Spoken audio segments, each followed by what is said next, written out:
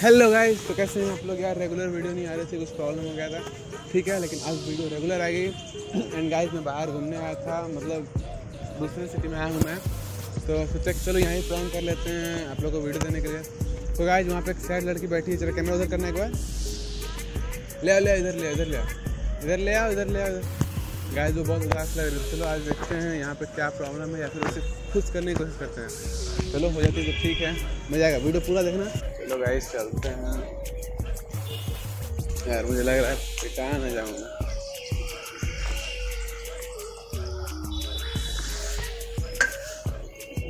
hello ma'am excuse me ma'am hello hello hmm आप ही को बोल रहा हूँ आप इतना उदास क्यों लग रही हो आपको इससे क्या मतलब मतलब नहीं है बट फिर भी मेरे रहते हुए आप उदास कैसे हो सकते हैं अरे आप आपको क्या ही मतलब है? आप क्यों इरिटेट कर रहे हैं?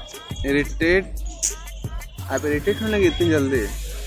ऑब्वियस बात है अब आप किसी से भी ऐसे पूछेंगे तो कोई भी इरिटेट होगा। नहीं तो आप सैड हो ना तो मैंने सोचा कि चलो खुश करते हैं। आपको इतनी क्यूट सी लड़की सैड कैसे बैठ सकती है? अरे नहीं कुछ नहीं ऐसा कुछ नहीं आपको कोई गलत फहमी हो रही है ऐसे तो सैड नहीं हुआ? नहीं। फिर हम लोग बात कर सकते हैं। क्या बात मतलब कुछ भी धीरे धीरे कुछ आप बोलो कुछ मैं बोलता हूँ। तो बात क्या करनी है? आप क्यों बैठे हैं मैं बैठा हूँ आपकी प्रॉब्लम सॉल्व करने का आप इतनी उदास लग रही हो ना मुझे उदास लड़कियाँ पसंद नहीं इतनी क्यूट सी लड़की के फेस पे सैडनेस रहेगी मैं नहीं चाहता ना। नहीं मैं आपको मतलब क्या है आपको प्रॉब्लम है? मुझे कोई प्रॉब्लम नहीं तो मैं सैड रहता ना लेकिन अभी सैड तो यहाँ आप हो। आपने बताओगे आपको क्या प्रॉब्लम है? कुछ नहीं। और मेरे रहते हुए लड़की सैड कैसे रह सकती है? ओ माय गॉड नहीं ऐसे ही थोड़ा सा अपना कुछ पर्सनल मैटर ज़्यादा प्रश्न बॉयफ्रेंड मैटर ना बॉयफ्रेंड फैमिली मैटर है। फैमिली मैटर हो सकता है। क्या करने का मन करता है? फैमिली क्या मना कर रही है आपको कुछ नहीं थोड़ा सा रिस्पॉन्सिबिलिटी है घर में लाइक कई हम लोग को मिला के पूरी तीन बहनें हैं पापा भी थोड़े से लाइक उनका कंडीशन सही नहीं है एंड थोड़ा सा टेंशन रहता है मम्मा को भी थोड़ा सा कंसोल करना पड़ता है इस वजह से टेंशन है एंड पढ़ाई को लेकर भी ना हो नहीं पाता हैंडल करती है। सबसे बड़ी आप ही हो। तो सारा टेंशन तो अभी आप और आपके भैया नहीं है? नहीं कोई भाई नहीं है तो ऐसा आप क्यों सोचते हो कि आप कुछ कर नहीं सकते? आजकल तो लड़, लड़कों से ज़्यादा लड़कियाँ कुछ कर रही है फिर टेंशन क्या यार? आप आप मेरी जगह नहीं होना तो इसलिए आपको नहीं पता कैसा फील होता है। आपकी जगह मैं फील कर सकता हूँ जो आप फील कर रहे हो। ऐसा नहीं है कि आपकी जगह मैं रहूँगा तभी मैं वो चीज़ फील कर पाऊँगा। टेंशन तो लाइफ में टेंशन फिर तो आप होती ही आप जॉब वगैरह नहीं करते हो?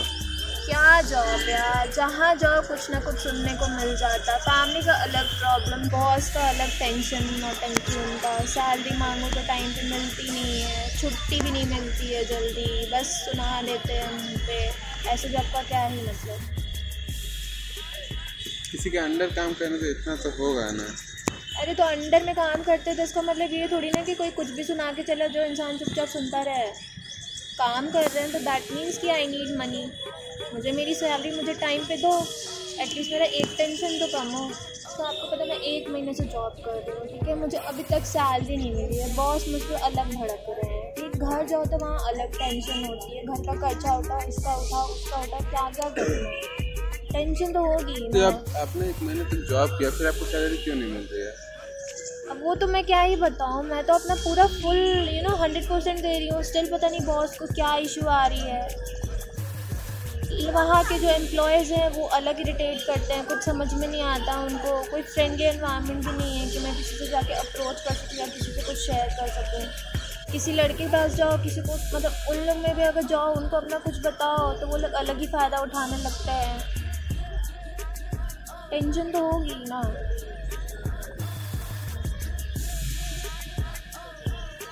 सॉरी यार मुझे पता नहीं था कि आपकी लाइफ में इतना प्रॉब्लम एक हर एक पर्सन की लाइफ में प्रॉब्लम तो होती है बट सबसे बड़ी बात है कि उस प्रॉब्लम को आप किस तरीके से फेस कर रहे हो। एंड जितना आप सोचोगे ना आपकी लाइफ में प्रॉब्लम प्रॉब्लम प्रॉब्लम उतनी प्रॉब्लम्स बढ़ते जाएँगे। आप सोचोगे आपकी लाइफ में प्रॉब्लम नहीं है। आप हर एक प्रॉब्लम को धीरे धीरे सॉल्व करोगे ना आपकी सारी प्रॉब्लम कब सॉल्व होंगे आपको पता भी नहीं चलेगा। आसान करना बहुत मुश्किल है। अच्छा ठीक है। आपने मुझसे अपना प्रॉब्लम शेयर किया इसके लिए थैंक यू एंड यार मैं आपकी सारी प्रॉब्लम तो सॉल्व नहीं कर सकता लेकिन आपकी मदद कर सकता हूँ एज अ फ्रेंड नहीं चाहिए मुझे आपकी कोई मदद। आप ऐसे क्यों बोल रहे हो? नहीं मुझे बिल्कुल नहीं चाहिए। मुझे किसी की कोई मदद नहीं चाहिए। आप मुझे अकेला छोड़ देते हैं। पता है एक दूसरे की मदद कभी मैं कर रहा हूँ कभी आप मेरी मदद करोगी। मुझे मेरे भी लाइफ में बहुत प्रॉब्लम होते हैं यार। मैं चाहता हूँ ना आप मेरी हेल्प करो। आप एज ए फ्रेंड रहो मेरे लाइफ में। मुझे एक अच्छी सी फ्रेंड चाहिए। आप मिल जाओ। मैं आपके शहर में आया हूँ घूमने के लिए। आप मुझे अपना शहर भी नहीं घुमाओगे एज अ फ्रेंड नहीं आप प्लीज़ यहाँ से चले जाइए। आप इरिटेट मत करिए। जी ठीक है आप मेरी हेल्प तो ले सकते हो। ठीक है अभी तो मैं आपकी हेल्प उतने से तो नहीं कर पाऊँगा बट बस जितने पैसे हैं प्लीज़ आप वो ले लो। कम से कम आपकी कुछ तो प्रॉब्लम सॉल्व होंगी ना। नहीं चाहिए मुझे आपकी कोई मदद। प्लीज़ आप ऐसा क्यों सोच रहे हो? नहीं नहीं मुझे आपकी कोई मदद नहीं चाहिए। प्लीज़ एज अ फ्रेंड नहीं बिल्कुल नहीं। ठीक है आप मुझसे कोई कांटेक्ट मत रखना कुछ भी मत नहीं मुझे रखना। कोई कांटेक्ट नहीं चाहिए मुझे कोई हेल्प नहीं चाहिए आपकी प्लीज़ आप जाइए यहाँ। सारे लोग ऐसे ही होते हैं एक बार बस मुँह पे बोलेंगे कि मैं आपकी मदद करूँगा और पीठ पीछे फ़ायदा उठा के चले जाते हैं। मुझे कोई हेल्प नहीं चाहिए आपकी प्लीज़ मुझे आपसे कोई फ़ायदा नहीं चाहिए। नहीं मुझे इन जनरल मुझे कोई हेल्प नहीं चाहिए मुझे किसी से कोई हेल्प नहीं चाहिए। प्लीज़ आप जाइए यहाँ। यार आपने मुझसे अपना प्रॉब्लम शेयर किया एंड नहीं मुझे कोई हेल्प नहीं चाहिए आपकी मैंने आपसे पहले ही बोला।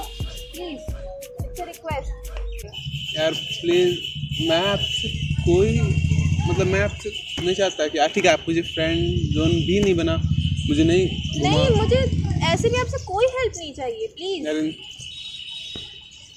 ओके फाइन जब आप यही चाहते हो तो ठीक है।